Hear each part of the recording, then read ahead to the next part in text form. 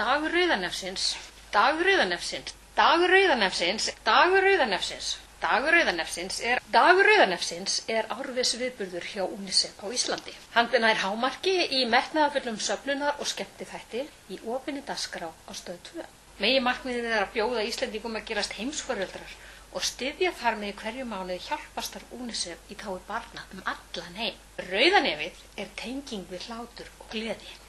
Markmið er að gleðjast og gleðja aðra með léttu sprelli, breyta kýmni og hlátri.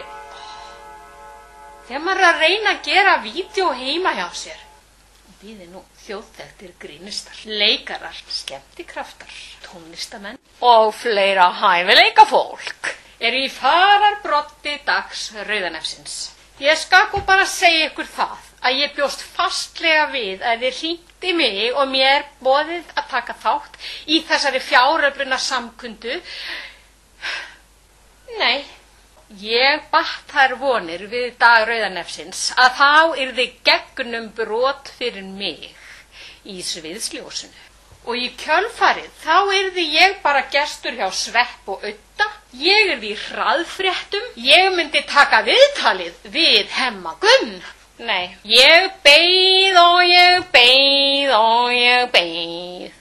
Síminn hefur verið steindauður fyrir utan stöku SMS frá oljufélagunum, svo ég ætlaði að ringi stöðu tvö. Ó nei, ó nei, ó nei. Það kom bara svolítið upp á, svo að við kann fór fyrir lítið hjá mér.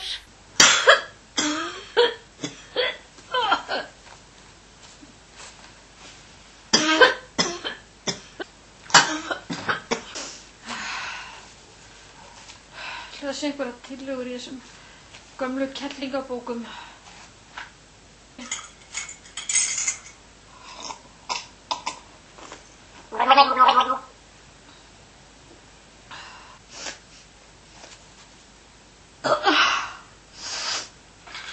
Séuta mín. Þetta dögur ekki.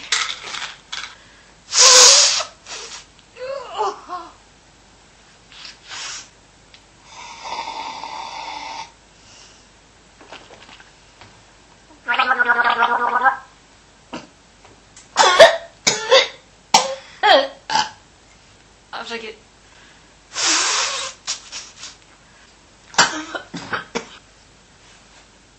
Bara grín. Svo hafi síðasta vika farið fyrir lítið hjá ykkur eins og hjá mér og dagur rauða nefsins farið algjörlega fram hjá ykkur eins og hjá mér, þá er ekki of seint að hafa samband við UNICEF og leggja sitt á mörgum.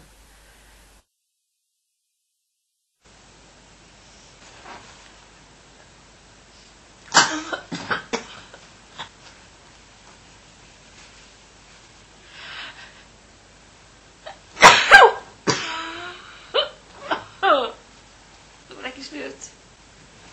Það var ekki sniðut grín. Æ, barasta. Svo virkaði þetta ekki endinni. Getur þú snýrt mér í alvörunni? Mér frekar að nota kanil er um pípar. Mér er takk með sett koma leggur á sig þá um að núðar. Nú er ég hætt þessu.